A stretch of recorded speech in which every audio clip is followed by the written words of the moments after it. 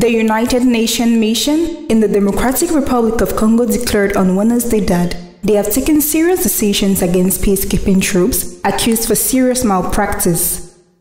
Eight peacekeepers stationed in Beni in eastern DRC were arrested on October 1st, and one officer was suspended on October 8 in connection with the alleged case of sexual exploitation and violence, according to internal MONUSCO documents. The matter has been referred to the Office of Internal Oversight Services, and precautionary measures have already been taken in accordance with the UN Secretary General's zero tolerance policy declared in a statement by MONUSCO.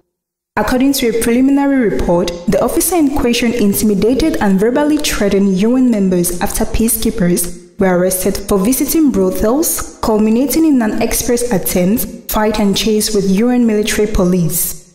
The Democratic Republic of Congo's government has also accused the UN force of failing to put an end to violence by arms group after 25 years in the country and has called for an accelerated withdrawal from December.